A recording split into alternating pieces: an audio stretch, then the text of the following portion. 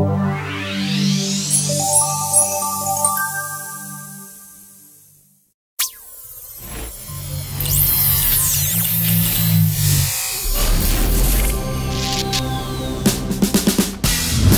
Host 2021 continua, siamo allo stand di Celli Group SPA, una delle più grandi aziende italiane nell'ambito delle attrezzature per l'Oreca. Ci troviamo in compagnia dell'amministratore delegato Mauro Gallavotti. Mauro, bentornato.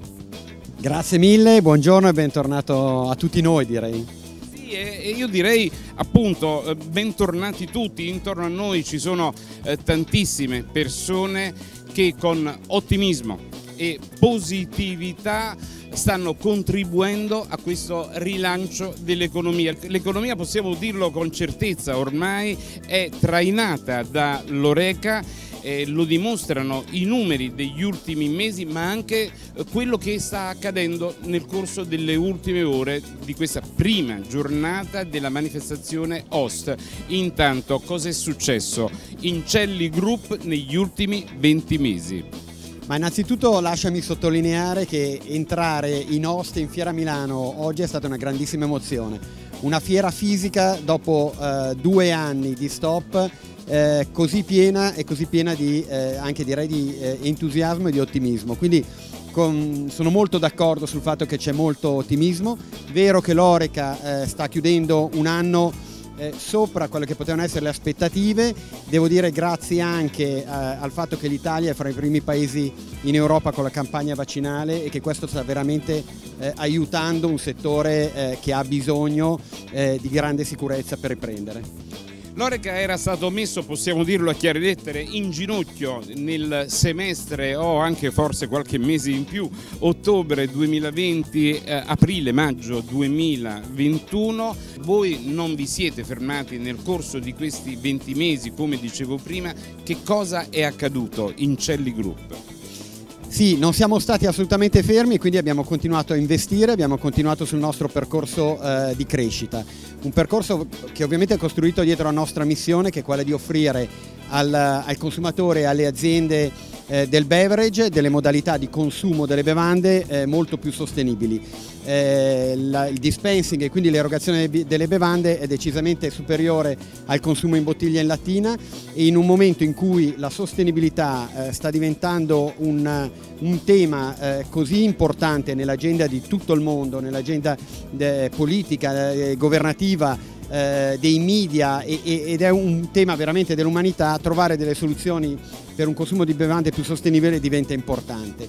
Ora eh, si parla tanto di eh, twin transition, che non è soltanto la transizione a modelli di economia di e di consumo sostenibile, ma anche la transizione digitale e come gruppo Celli quello che abbiamo cercato di fare è proprio quello di unire eh, eh, sostenibilità e digitalizzazione. Quindi abbiamo eh, veramente eh, lavorato molto sull'innovazione e sulla messa a punto di sistemi di erogazione digitali.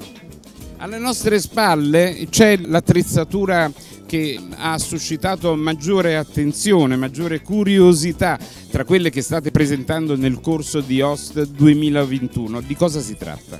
Allora, le novità sono veramente tante perché stiamo mettendo sul mercato l'innovazione di due anni. Quella a cui ti riferisci tu è particolarmente appassionante, eh, nasce da una partnership con una startup, eh, con una startup di Milano eh, che, che, è Cocktail Machine, eh, di cui noi siamo eh, appunto i, i, i, produttori e i fornitori de, di, di, tecnologia.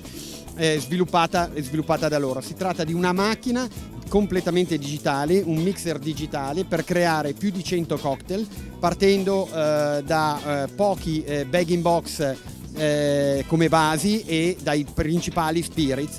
La macchina con un software molto sofisticato, eh, controllato ovviamente in remoto sul cloud attraverso le tecnologie IoT, eh, eroga più di 100 cocktail eh, dando un grande contributo nella, nella gestione eh, operativa eh, del bar.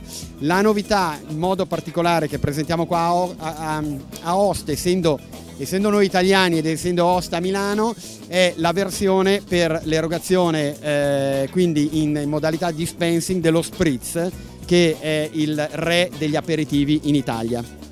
ma non vi fermate semplicemente a questa magica attrezzatura, eh, spingete ancora una volta un format che ha dello straordinario. Parliamo di Acqua Alma. Sì, eh, Acqua Alma per noi è veramente il portabandiera della, della, della sostenibilità. Abbiamo anche presentato recentemente eh, uno studio che si chiama Smart Home 5.0, eh, ossia ehm, come eh, gli edifici residenziali italiani dovrebbero prendere in considerazione non soltanto l'efficientamento energetico ma anche l'efficientamento idrico.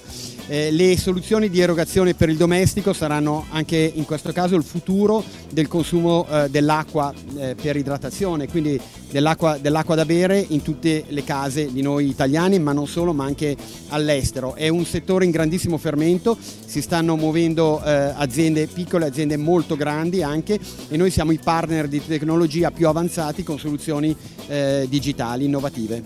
E questo lo fate sempre con eh, vostro, la vostra vocazione alla sostenibilità. Assolutamente sì, siamo uh, ovviamente un'azienda che eh, di per sé nel proprio DNA eh, offrendo delle soluzioni tecnologiche per un consumo di bevande alternativo a quello che viene detto single use package, eh, siamo eh, estremamente sostenibili.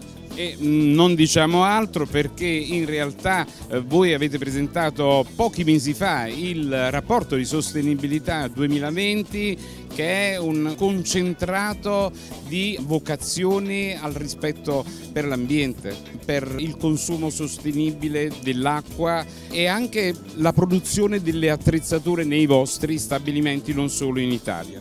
Sì, eh, diciamo che se di per sé il, i sistemi di dispensing sono una soluzione più sostenibile, noi ci occupiamo, come hai giustamente detto, anche di produrli in modo sostenibile. Abbiamo in Inghilterra appositamente un centro di eccellenza per lo stampaggio della plastica dove ut utilizziamo non solo plastiche riciclate ma anche plastiche eh, provenienti, materie provenienti polimeri provenienti da fibre naturali come il bambù o anche ehm, eh, plastiche eh, provenienti dal recupero dell'ambiente come per esempio eh, dalle reti da pesca eh, eh, raccolte dagli oceani. Cosa dobbiamo aspettarci per il 2022, un anno che si presenta in eh, grande ascesa per il fatturato di tutte le aziende italiane?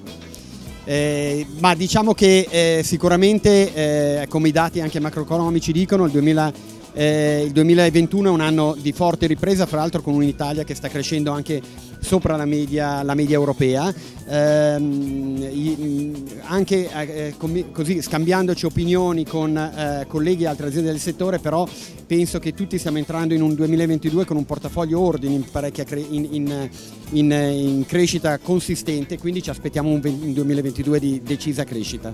Ehm, diciamo anche eh, in funzione della disponibilità e dei prezzi eh, non maggiorati delle materie prime che rappresentano il più grosso problema per voi produttori in questo momento.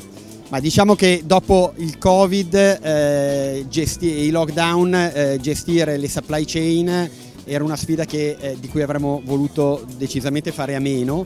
Eh, è sicuramente molto, molto sfidante, molto difficile eh, devo dire che ehm, quello che conta veramente è la fiducia eh, in tutta la supply chain, quindi la fiducia fra fornitori e clienti lungo tutta la supply chain per cercare di gestire al meglio quella che in effetti è una, una, una difficoltà operativa molto importante in questi mesi.